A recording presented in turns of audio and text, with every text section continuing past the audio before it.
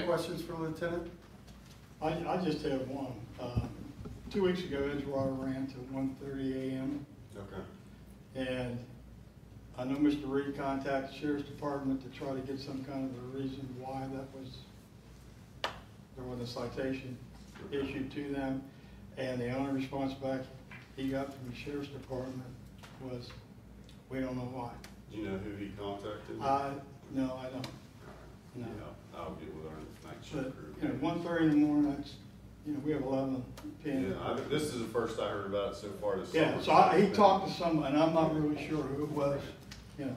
Um, yeah, I'll, I'll get on them and make sure they're aware of the, the agreement we've got and the ordinance. I appreciate that. Yep, absolutely. Thank you.